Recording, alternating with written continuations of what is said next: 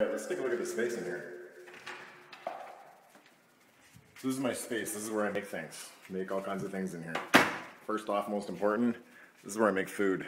but this is where I make my music. This is where I make leather stuff. This is where I do my engineering work, and this is where I live and sleep. So I'll just show you around a little bit. Let's take a look at the music studio. This is a music studio. Got all these egg cartons on the wall to uh, help the reverberation, so you can get uh, better recording of vocals. They're just more clean and whatnot, awesome.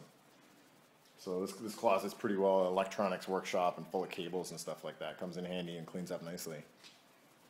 So this area I think is where the dining room table is supposed to go, but uh, I don't have a dining room table, so instead I put uh, my drill press here.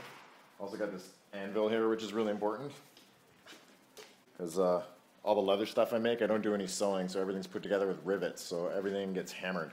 Gets hammered right here. Um, this is where I work on leather stuff. I can whip out tables here and make a whole manufacturing area if I'm doing, you know, larger runs of uh, products.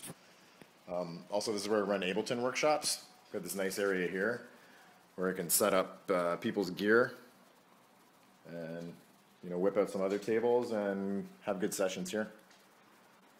Um, yeah, it's uh, of course I got leather stuff over here, just some fresh stuff I've been working on. Take a look. Ooh. And uh, yeah. So this is this is this is the space. We got we got in here. Yeah.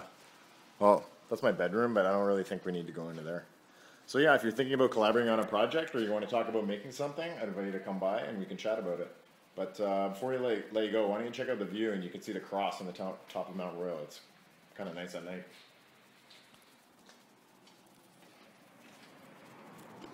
I don't know if you can see off in the distance there, but that cross is all lit up.